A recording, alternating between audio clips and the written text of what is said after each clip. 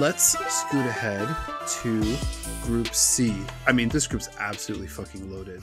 I mean, I I think Group C and D. We'll get to D later, but you kind of get the feeling that whoever comes out of these two groups is going to come out i mean just chiseled and just fucking ready ready for action ready for the quarterfinals. I just cannot be more pumped for this tournament. All the prep has got me extremely excited. So i want to start with psg they take on ajax wednesday 3 p.m eastern. So they got knocked out in the quarters last year by finalist wolfsburg. They finished second in division 1 Feminine last year. This year, they're sixth in the table, third if you go by points per match played. They've only played four matches, and they sit currently behind Lyon and Paris FC. So far this season, eight goals for, one goal against. Their only loss this season, I mentioned they're 3 0 1, was at home to Lyon, and they lost on a, you guessed it, a Le Sommer rocket, mm-hmm. and they, they weren't able to get on the score sheet leading scorers this year for PSG, Tabitha Chawinga, their 27 year old forward, who got some good looks in that Lyon match. So I think definitely somebody to keep an eye out for. Up front, they also play 23 year old French forward Sandy Baltimore, who unbelievable name by the way. Kind of sounds like fantastic a Philadelphia gangster. Hell yeah. She's PSG's co-leader in goal scored this season. Some more names we might recognize from the French World Cup squad: Grace Geyoro, Sakina Karchaoui, uh, Lieke Martens from, I believe, the Netherlands, and Marie Antoinette Katoto, who I think was hurt uh, for most of it, but obviously a huge name. And as mentioned, they take on Ajax, who won the Dutch league last year. They were knocked out of the Champions League last year in the round of 24 uh, by my Lady Gunners. So, welcome to the party, Ajax.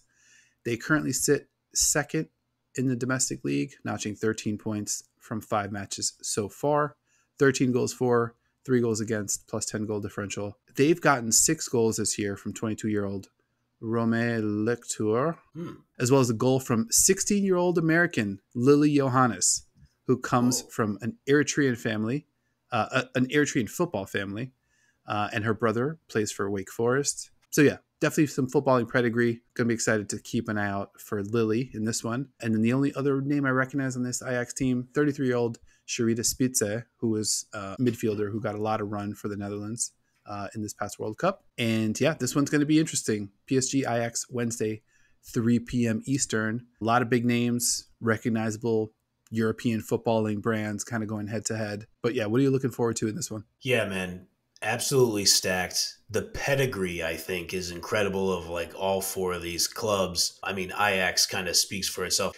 Ajax has always kind of separated themselves with the youth development program, whether it's men's or women's football. So it's awesome to see that there's a 16 year old American. I uh, I gotta say I, I missed that. I mean, obviously this was kind of your group to take, but I am excited. I, I hope Lily gets some run, and we'll kind of see you know how that develops over time. What an incredible opportunity to play in some important matches and against world class competition uh, I mean, Karchaoui was was incredibly important for France. Like you said, you already know what time it is with Marie Antoinette Katoto. I mean, she was just one of their dominant players for years. So, I mean, this is just.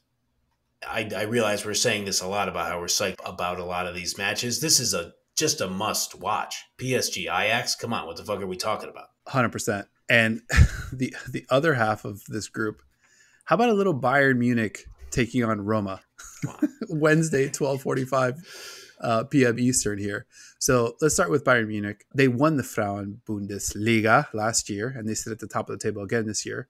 Two draws in the season, though, out of six matches. So not unbeatable. Bayern found the draw with eighth place SC Freiburg, as well as fellow Champions League side Eintracht Frankfurt. They won their other four matches this season to get them to 4 2 and 0. Mm. 11 goals for, three goals against on the year. Their goals are pretty well distributed this season. In six matches, they've gotten two goals apiece from Lea Schüller, Linda Dallmann, Pernille Harder, Jovana Damnjanović. Pretty spread offensive attack for Bayern.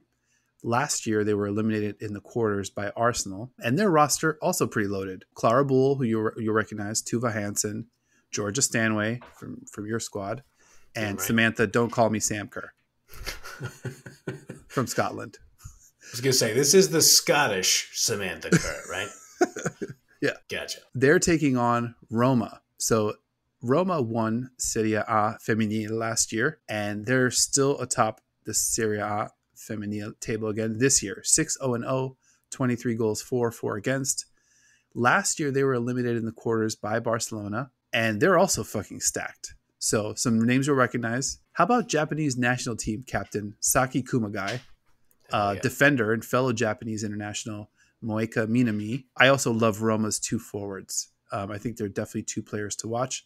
That's Canadian uh, Evelyne Viens and Attaccante Italiana Valentina Giacinti, who you might remember from this most recent World Cup, where she started in two of Italy's three World Cup matches.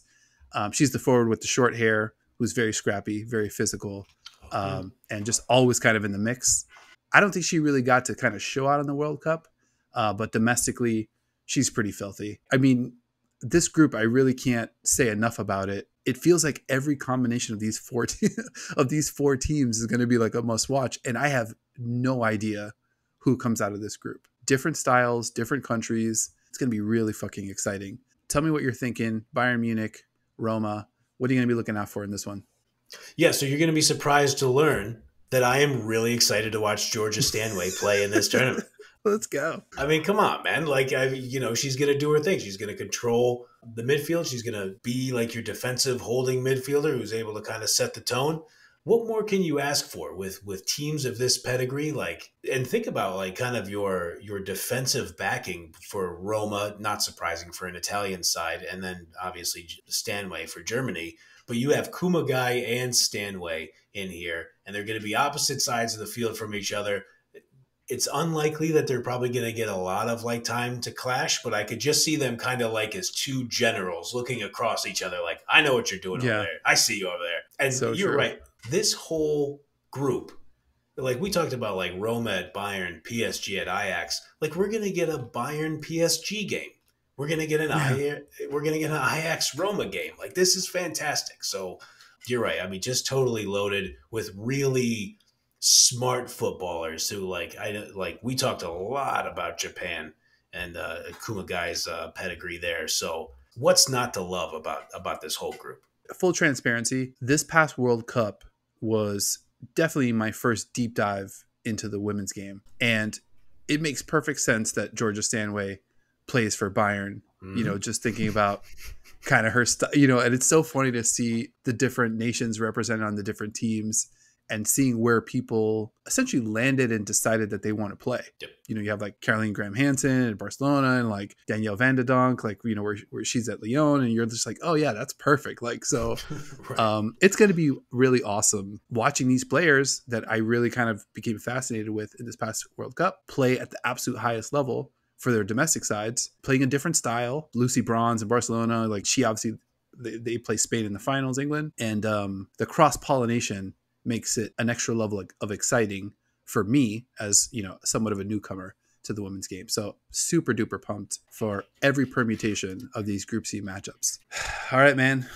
Champions League preview. I think we did it. That'll do it for this episode. But be sure to follow and subscribe into the channel. We broke down the qualification process. We dove heavy into all four groups, how we got here, what we expect to see in these group stage matches, and hopefully provided a valuable look ahead with regards to what we expect from this year's tournament and this week's games. Big thanks to my co host, Mr. Grant Engel. We are about to embark on quite the journey, my friend. I know you and I will be locked in, and here's to hoping our audience will be locked in right along there with us every step of the way. Yeah, man, I think we're just in for an absolute banger of a tournament. I'm just excited to watch, and I will see you next week to recap some of these amazing games. Hell yeah. Super glad to be doing this with you. Episode one in the books. Appreciate you. Appreciate you, man. Looking forward to the journey. Enjoy the football.